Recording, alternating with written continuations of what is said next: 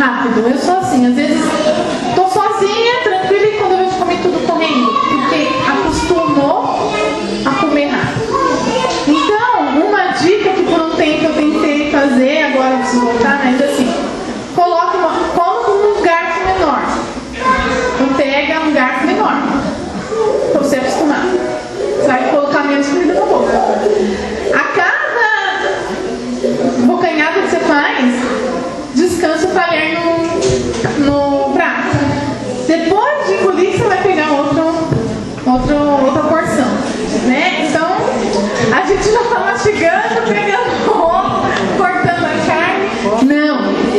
Então, coma com um garfo menor. Também uma, é importante assim, uma dica para não comer muito, pega um prato menor, não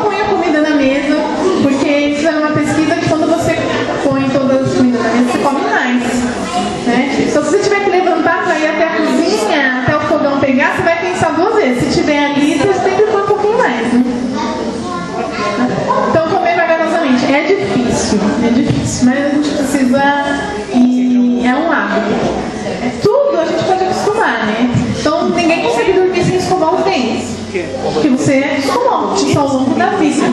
Então é só o Léo.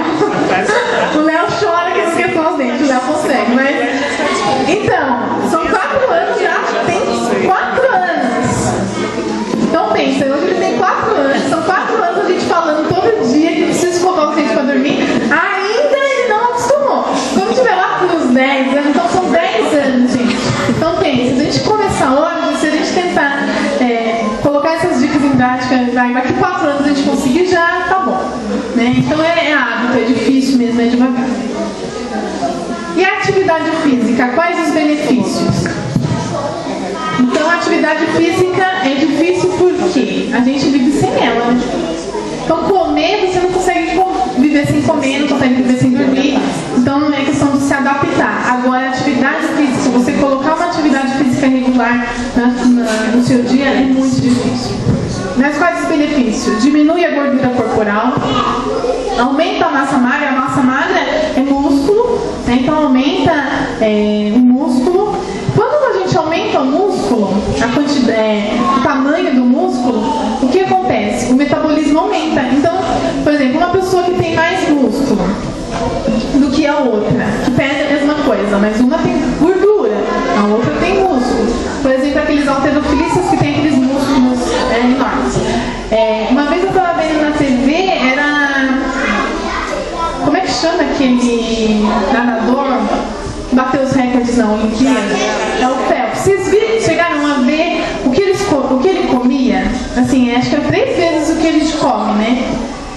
quê? Eles têm muito músculo, gastam muita energia, então eles podem comer mais. Porque mesmo em repouso, eles gastam mais, porque o músculo consome mais, né? A gordura fica, o músculo está consumindo. Então uma pessoa que tem massa magra, tem músculo, ela pode e deve comer mais. E mesmo parado, mesmo se ele não fizer atividade nenhuma, ele está gastando mais energia. Tá? Do que a gente que não faz, a gente quem não faz exercício, né? A gente agora vai começar a fazer. Melhora a densidade óssea. Por que, que isso é tão importante para a mulher? A mulher depois que né, chega, passa o período da menopausa, ela tem uma perda muito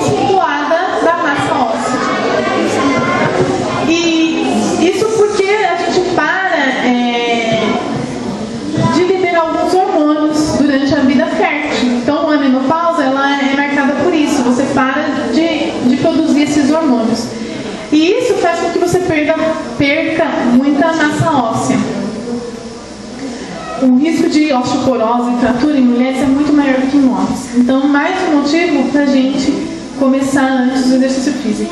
Quando você faz exercício, o impacto né, do osso é a mesma coisa que criança. Como que a criança vai crescendo? Né? É, fazendo exercício. O exercício deles é pular, brincar, correr. Porque aquele impacto faz com que o osso fique mais firme.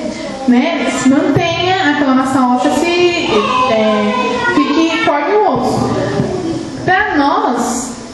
é, a vida adulta ele fica praticamente estável. Depois que para de produzir esses hormônios, é, tem uma perda óssea muito acentuada. Você fazendo exercício, além desse impacto no osso, a contração do músculo faz com que o osso forte. E para osteoporose não tem jeito. Você toma, se você, mesmo que você repor cálcio, se você não tiver o, o exercício físico, ele fica circulando no sangue e ele não, não é absorvido pelo osso. Tá? Então precisa fazer física. Tá? Melhora a imagem corporal, então você melhora a autoestima, melhora é, a coordenação motora também e melhora a capacidade cardiorrespiratória.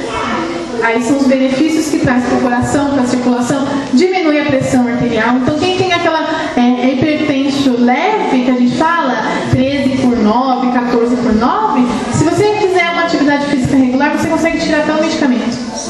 Você não precisa mais de medicamento, você consegue chegar na pressão normal sem remédio nenhum, tá? Então, olha lá, são as atividades que a gente pode é, começar. Alongamentos, exercícios. Aí pode procurar. Eu acho legal, gente, por mais que você possa fazer também assim, ao ar livre, pode simplesmente caminhar, né? Já é um, uma atividade, né? Três vezes por semana, 30 minutinhos é o suficiente. Pensa quanto tempo a gente demora para lavar uma louça, uma pia de louça? Tem uma propaganda que fala, uma propaganda da lavadora de louça, já viram?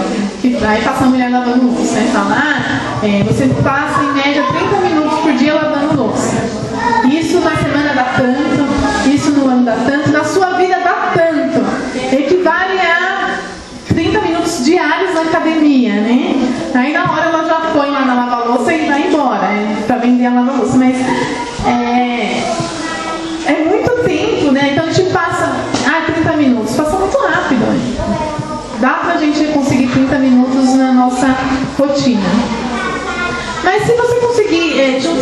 de amigos, ou ir para uma academia, ou se reunir num lugar, né? Então aqui na cidade a gente tem o Pro Hiper, né? Quem tem mais mulher mais de 60 anos pode, pode ir lá. É, é muito legal, vocês conhecem? Já foram? O Pro Hiper? É muito legal. Para quem tem mais de 60 pode ir, que tem que se inscrever, passa por uma avaliação, lá tem bastante, tem bastante atividade. Dicas, qual a atividade mais apropriada? Gente, qualquer. A que você se sentir melhor. Então pode ser caminhada, pode ser na academia, pode ser natação ou dança. O que você se sentir melhor, o que você se identificar, você pode procurar. Porque se você não tiver prazer, se for uma obrigação, não vai dar certo. Você vai largar logo, tá? Frequência das atividades, pelo menos três vezes por semana. Três vezes por semana já 30 minutos, meia hora. Agora, se por acaso assim, não, não tenho, é impossível, hoje eu não tenho 30 minutos de jeito nenhum para fazer exercício. Então, o que, que eu posso fazer? Vamos somar as atividades durante o dia. Então, se você vai trabalhar de ônibus, desce duas quadras antes. Vai andando. Para pegar o ônibus de volta também. Duas quadras. Trabalha no prédio, sobe de elevador, não sobe, não usa mais elevador, sobe e desce de escada. Tá? Então você vai somando pro coração, gente, para esses benefícios de diminuir gordura corporal, tudo, vai ser difícil.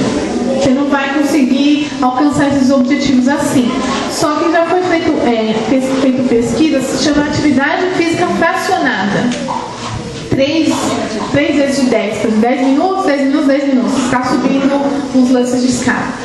É, para o coração, já foi comprovado que faz, já tem benefício. Então, é, observar isso em casa, né, se mora no sobrado, então, sem preguiça, sobe e desce quantas vezes for necessário, que você tá, o coração já está fazendo bem. Local para exercício físico. Então, o ideal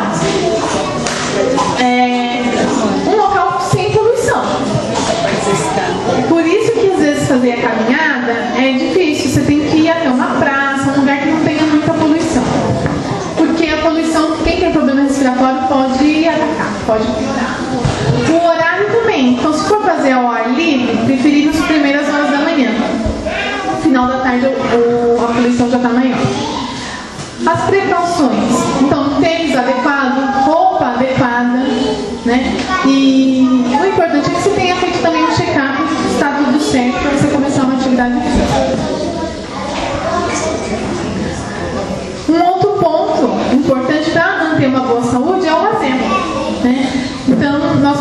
precisamos ter um descanso para o corpo. Isso a gente consegue dormindo também, né? Mas o lazer, o descanso para a mente é diferente. Não sei se você já tiver essa sensação de estar com a mente cansada. Às vezes você não está com o corpo, mas está com a mente, aquele muito problema, muita coisa. Então você está com a mente cansada. Mesmo você dormindo, a mente, ela não, a mente descansa diferente do corpo né, quando você dorme, quando você fica em repouso. A mente não. Ela descansa quando você faz alguma coisa que te dá prazer. Então, ou você lendo, ou você assistindo um filme que você goste, ou ouvindo uma música. Então, você tem que fazer, para você descansar a mente, você tem que fazer outra coisa. A mente não descansa parada. Tá? É pior. Não é? Se está cheio de problema, ficar deitado ali no sofá não é pior. Né? Sua mente fica mais pesada, mais cansada. Então, a mente descansa trabalhando. Então, procure uma atividade. Está Procure uma atividade que, que consiga é, descansar a sua mente, tá? Então, atividades que tragam prazer para o corpo e mente. Só que o lazer não pode virar obrigação. Se você tiver, ah, eu vou pescar, né?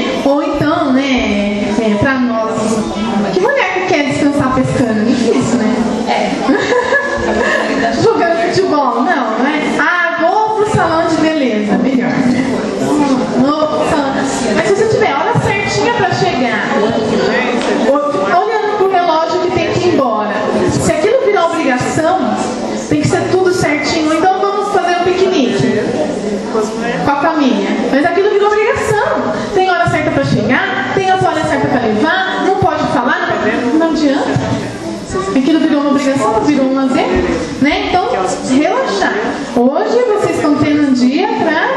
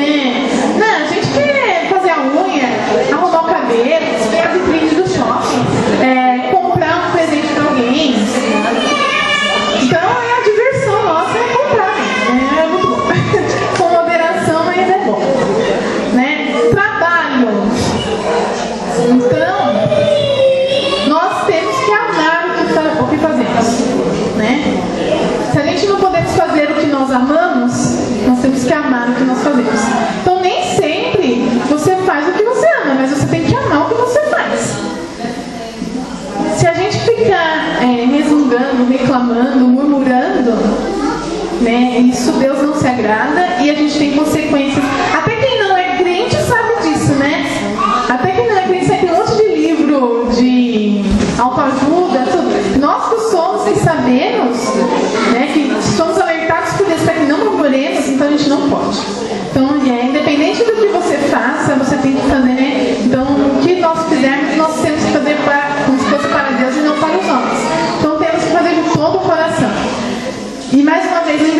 Trabalho que eu estou falando aí é, é o trabalho de casa, é o trabalho para o próximo, é o trabalho para a igreja, é qualquer outro tipo de trabalho, né? Agora, para quem sai de casa para trabalhar, a gente passa o maior tempo do dia no ambiente do trabalho. A outra parte a gente passa dormindo, em casa, com a gente, com a família, é muito pouco. Então, se a gente não amar o que a gente faz, se a gente não se dedicar e não fizer é, de uma maneira assim, sem resmungar, mas né, contente, com contentamento, né? Então, o importante é que nós estamos contentamento, que a gente se contente com o que nós temos o que nós temos que fazer. Vai ser muito difícil, gente. São pelo menos oito horas trabalhando, não é? por dia. Geralmente as pessoas trabalham 8 horas por dia. É muito difícil. Fazer isso de uma, uma coisa boa e se relacionar com as pessoas também de uma maneira positiva. Né? E o trabalho, ele traz realização pessoal. Se a gente parar de trabalhar, se a gente parar, é, a gente morre. Morreu. Você não tem. Você não serve em, na igreja, você não, ou em casa, você não tem os compromissos em casa. Então, ou não faz o seu crochê, ou não faz. Né? você não, não, não se mantém viva para tudo que Deus também pensa de nós, que deseja para nós. Tá? Então, seja onde for, seja o, o que, onde estivermos, que nós amemos o, o que fazemos. Agora, um ponto importante para nós, mulheres, que são os momentos de relaxamento.